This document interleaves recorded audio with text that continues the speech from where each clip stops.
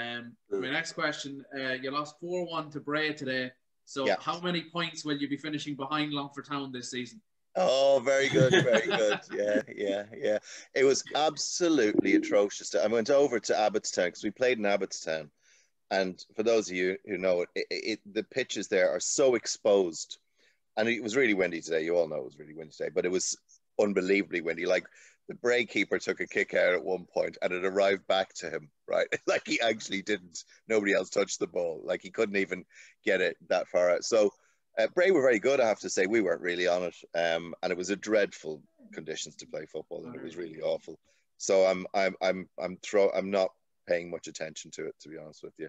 Um, I'll say one thing though, how Bray, I, I'm not, I'm not allowed to gamble, and I, I don't agree with gambling in football too much, but how Bray are seven to one for the first division is beyond me because if they don't win the first division, I, I I'll be amazed. I think yeah, they're I superior. actually I was meant to tweet it earlier on when I seen the result and I forgot, but I don't know how a Premier Division team didn't pick up Gary Shaw. I don't know how Well, long it's not- Oh, Shaw's how was incredible. Didn't go in for him. he was good, but honestly, there's two other players today. I mean, your man Brandon Kavanagh is probably the standout player in both leagues. Yeah, He's I'd agree. He is absolutely brilliant. I, today, every time he put his foot on the ball, I was standing with Niall Driscoll, the Bray chairman. He's going, "Watch this." He didn't put a foot wrong. He hit the bar twice. Uh, they were, they, they, he was superb. You know, really. I don't know how Bray got him from Rovers. I'm surprised. Yeah, I'm surprised Bray got him. Yeah, thinking a Premier Division club being from. I'm Amazing. shocked now. Yeah. I- Well, I I am genuinely Rovers, Rovers knew that Rovers 2 weren't going to happen.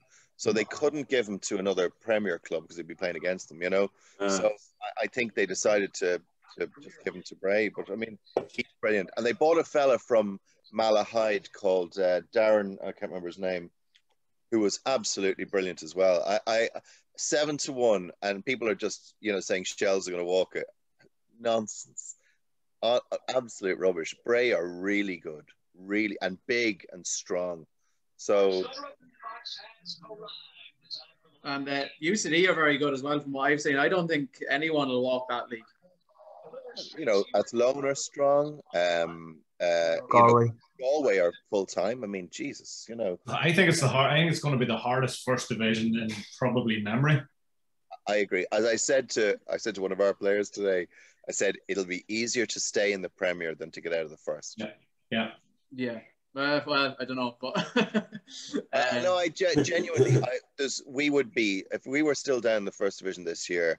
I'd be looking around, going, Jesus, it's it'll be a total lottery, total, Yeah. lottery, you know. Yeah.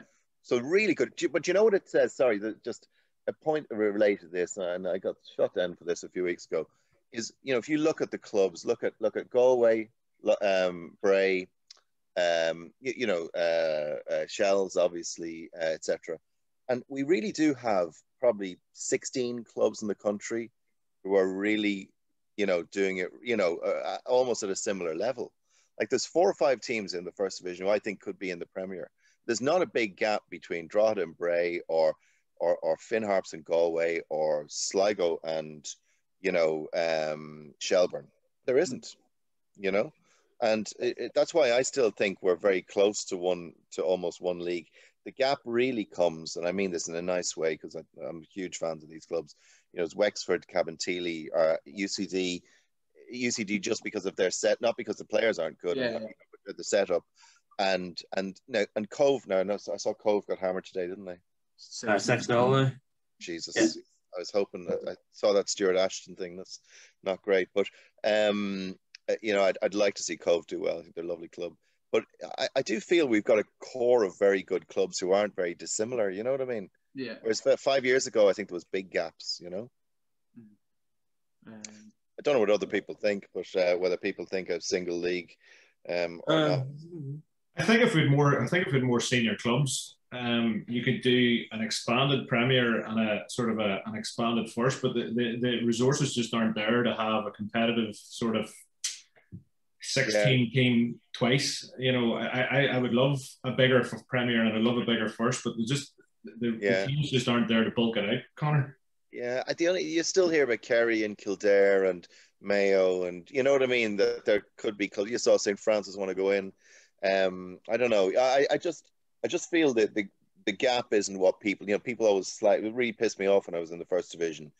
You know the way that the Premier clubs look down on the first division, and the gap the gap wasn't there. I couldn't see the gap certainly between at least half the first division and the Prem. I, I couldn't see the gap.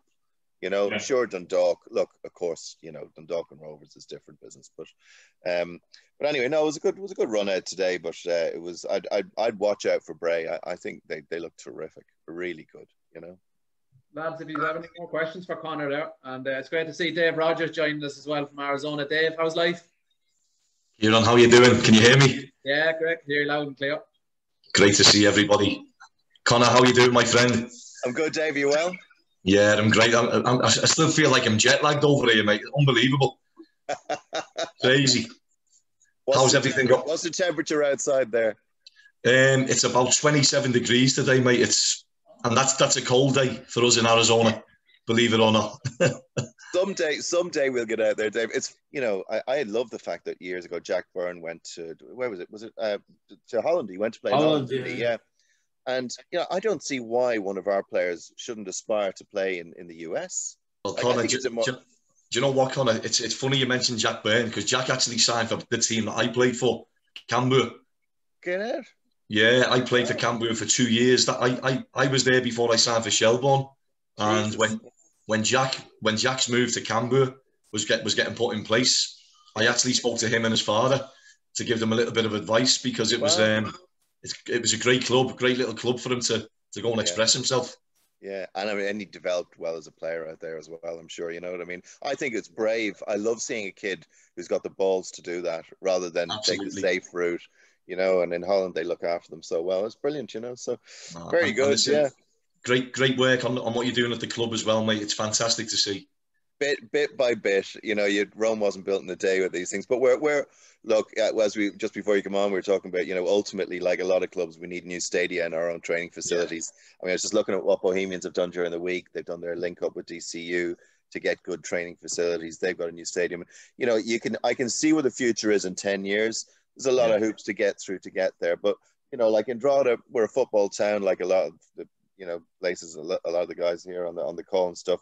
Um, and the support is there, and Yeah. you know the potential is there if we can do it. And uh, but you know we've got a nice squad for this year. I've got some. I was you know we've got some really nice, good footballers. A bit of experience with some of the younger lads. Um, bringing in people like Dane Massey, you know, is just such a him and like Gary Deegan and like Gary Deegan was just snarling around the pitch today. It was brilliant watching him. But the great thing about somebody like Gary Deegan is, you know, he he's he he's vocal on the pitch, and I love seeing that. You know what I mean? He's bawling people out, but not in a bad way. He's you know encouraging, saying, "Let's do this right. Let's do this right." I think we needed somebody like him there, so I was really impressed with him. But we have a nice squad. We've good we've good talent there. If we click, we picked up Ronan Murray a couple of weeks ago, who's, who's a super footballer. This lad who's this lad Dara Markey, who we picked up from Pats. If he clicks, he's, Yeah. he's sumptuous to watch. He really is. A lot of these lads are only 23 or 24, you know. So, um, you know what? You made a great point there with the likes of Diga. And, and Gary was only a young lad when we, we were playing at Shells. But what he's Yeah. what he'll bring and what Dane Massey will bring, they'll bring leadership, they'll Oh. bring standards. You know, they'll, they'll set the tone, and that's only great for the young lads. And it's good for them to see senior Yeah. players around them that will that will fe- they'll feed off that that environment, Conor. So it's going to be great for them. It'll be good. Look, you know, it, it- we've no, we, you know, when you go up like this, I feel. I mean, Shelbourne last year, I almost felt they almost put pressure on themselves last year. Shells, I, that's what I, you, you know, you can feel pressure at a club almost, Mhm. and because they made such big investment, and like, and you have to applaud that, and they've made great investment off the pitch this year, as well as Yeah. on the pitch, but. It felt I felt pressure at Shells last year, and I don't know I could be unfair. And I felt Ian Morris was feeling the pressure, and like, he's a mm-hmm. really nice bloke, Ian Morris, you know. And I felt that, that- but so I've been trying even at the club, just saying, guys, just go and let's play football, let's enjoy ourselves. You Yeah. know, don't don't worry about what we will be where we will be at the end of the day. As long as you, you know, perform at the best of your ability, that's all we'll ask. Nobody's gonna, you know, nobody's expecting us to do anything. So what's what's you know, don't worry. enjoy it. Go and smile enjoy- and enjoy each and every game. yeah, what's the point in playing football if you don't enjoy it? I mean, I was talking to Dinny Corcoran today. Um, he was sitting on the sidelines and uh, he was coming on the second half. and we, the wind was swirling everywhere. It was a, horrific to play football. I said, Dinny, this is shit. I said, and he said, he's, and he no, and he and he said it is, and he said, Conor, you think it's shit to watch? It's even worse to play in when when the wind is so horrific. And you, you know, it just reminded me that footballers play football because they want to play beautiful football. I believe this, right? I I think when you go, even I remember myself as a kid or whatever, you know, the games where you you know you, you love it when you when it's a beautiful goal or a beautiful move or like that's the joy in football. Like football has to be about bringing joy to fans. I, I honestly, I'd rather lose three three two in a brilliantly fought victory. My manager would hate me saying this, but they grind out the most dour one 0 because that's not. You have to entertain, don't you?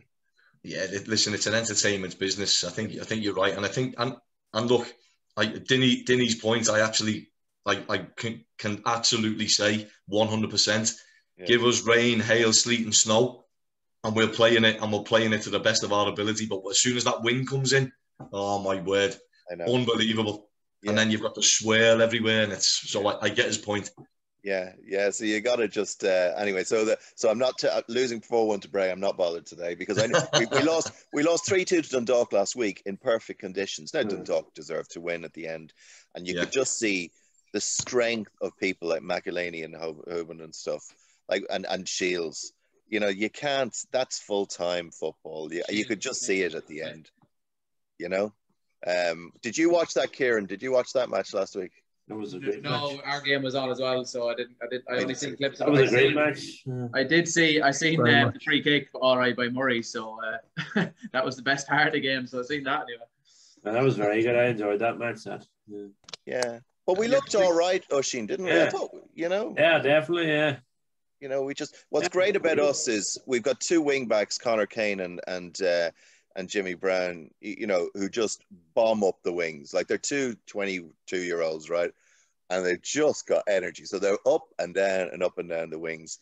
And then we, you know, so that that just makes for exciting football. When you have two full backs who just want to get forward like that, um, it's good to watch. But uh, we're all still trying to work out what our starting 11 is. But it gives you a bit of confidence when you know you can play reasonably against Dundalk.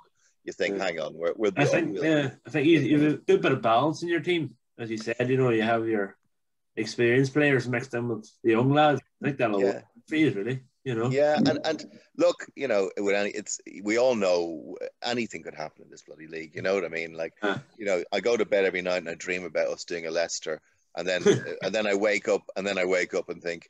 I'd be quite happy just to get out of the, you know, just to avoid relegation. So it's, you know, this, this is, but you, you got, you know what, as I said to somebody recently, when you go into anti any competition in any walk of life, you enter something to win it right? Yeah. I don't believe in entering a competition to think I need to finish eighth, mm-hmm. right? I, I, genuinely don't. I, I, I think you enter it to try and win it. Now, you might realistically in the back of your head think there'd be a long shot, but you, you have to enter it with positivity. Going in and thinking our goal for this season is to avoid relegation, I, I don't want to hear that. That's Ollie Horgan there for you. Just what I was about to say. Ollie Horgan. Oh, oh we'll take ninth place. Glass, we'll glass is place. always half empty. I know, but he's brilliant. Look, he's the man's. Right, listen, he's playing. He's playing games. He knows what he's at. and and you know, you'd you'd put any money on him doing it again, like you really would. How is your squad looking at Finn Harps? I've not really seen much about. I, I, I was just saying before you come on, Conor. I'm quite happy with it this year. There's a yeah. The nucleus of the squad from last year has been kept. Uh, and they've added a few guys in. We brought a striker in from FC United in Manchester. I, I can't remember his name off the top of my head. He scored a lot of goals for them. Oh, well, yeah. Um, so I, I, I, I'm not. I'm going to touch wood here. I'm, I'm not actually worried this year for a change going in this season. I, am thinking, you know, mid-table. I'll take it now. Yeah. What about mm. Waterford? Is there any Waterford fans on? No, I don't think they exist. They have to be brought in on loan. Seriously, seriously though, like I never see any Waterford fans. I don't have a problem with them, but I just never see them. Careful, cares, Jesus. um, they won. They probably said only on loan now onto the call. They happen pretty well, you know. Yeah, well, I you, you see, you just don't know. There's a lot of unknowns in their squad. You know, we have no idea. I mean, we've got them next Friday. You know, and uh, and I don't really know what to expect. Like, how do you do your homework on players that you don't really know. There's a few players you know. I said they've Oscar Brennan, haven't they, and a few others. Yeah. But but but you really don't know anything about their formations or anything. I just, they beat Wexford today, didn't they? Did yeah, one nil Yeah, one nil. Um, I know you're not a betting man, as you said, but I think you are a great price next week. I think you're eight to five at the minute, but uh, you probably won't be that price come kickoff time. I wouldn't imagine.